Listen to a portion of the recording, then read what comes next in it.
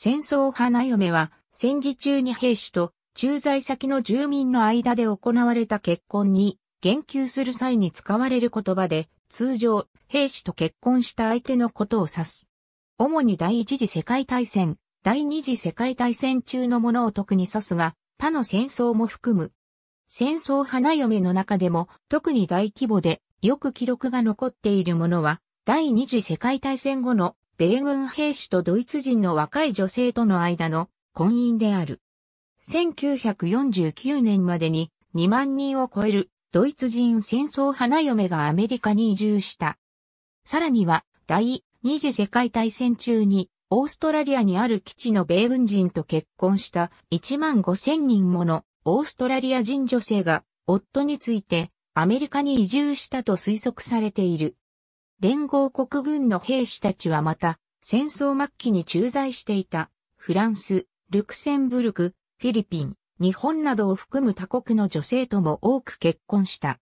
朝鮮戦争やベトナム戦争など、米軍や反共産主義の陣営で戦った兵士を巻き込んだ後の戦争でも同様の現象が起きた。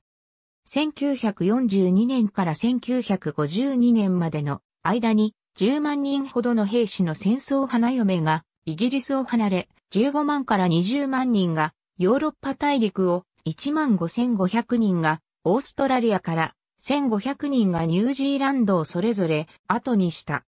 米非戦争ではフィリピン反乱のためフィリピン人の女性を妻として婚姻する米軍人は少なく、書類上、早くは1902年に一人のフィリピン人女性が米軍人である夫についてアメリカに移住したとの記録がある。これらのフィリピン人はアメリカに移住する際にすでにアメリカ人であり、これまでのアメリカへ渡ったアジア人移住者とは全く違う法的地位を得た。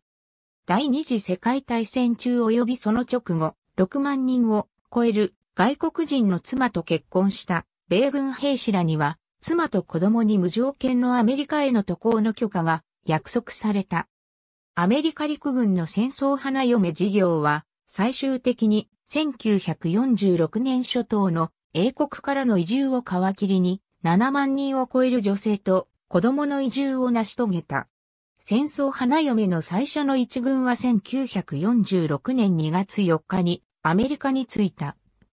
ある推定では、1945年に成立した戦争花嫁法を受け、30万人もの外国の戦争花嫁が渡米し、うちフィリピン人が5万1747人であり、日本人が約5万人であった。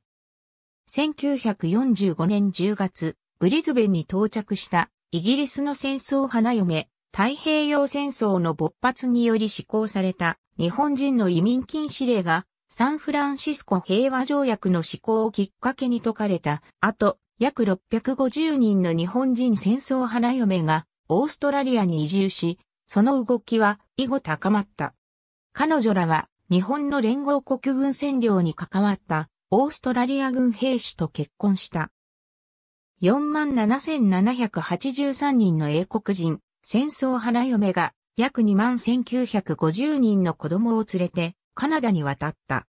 1939年からカナダ軍兵士が主に英国に駐在していたため、カナダに渡った戦争花嫁の約94%は英国人であった。また、3000人の戦争花嫁が、オランダ、ベルギー、ニューファンドランド及び、フランスからカナダに渡った。カナダ軍兵士と英国人女性の間の最初の結婚は、カナダ人兵士たちがイギリスに到着した1939年12月からわずか43日後、アルダーショット地域のファーンバラ教会において登録されている。このような戦争花嫁のカナダへの移住の多くは、1944年に始まり、1946年にピークを迎えた。カナダ国防省により、戦争花嫁らが渡航するのを手配し、カナダでの生活に馴染めるよう支援するため、特別な政府機関であるカナディアンワイブスビューローが設立された。カナダに渡った戦争花嫁の過半数は、主にクイーンメリー、レディネルソン、レティシア、モーリタニア、イールド・フランスといった輸送船、または病院船に乗り、ノバスコシア州ハリファックスのピア21から上陸した。ピア21カナダ移民博物館には、戦争花嫁を特集した展示区域があり、ピア21にも記念碑があり、戦争花嫁が国の史跡として記念されている。1943年から45年の米軍のイタリアでの軍事行動の間に1万人以上のイタリア人女性が米軍兵士と結婚した。イタリア人女性とアフリカ系アメリカ人の兵士の間には村跡の子供たちが生まれたが、当時アメリカの多くの州において、異人種間の婚姻は認められていなかったため、その子供たちの多くは孤児院に捨てられた。米軍兵士との婚姻第二次世界大戦後、日本の連合国軍占領のために駐留していた米軍兵士と結婚し、米国に渡った日本人戦争花嫁は戦後すぐから1950年代末までで合計約4万人に達すると言われている。1947年の日本人戦争花嫁法制定以降に渡米する戦争花嫁数は増加傾向にあったが、多くは1950年の朝鮮戦争勃発後に渡米している。アメリカ赤十字社は日本人戦争花嫁向けにアメリカ文化を享受する花嫁学校を1951年以降日本全国に100校以上開校し、1957年までに約4000人の戦争花嫁に教育を行った。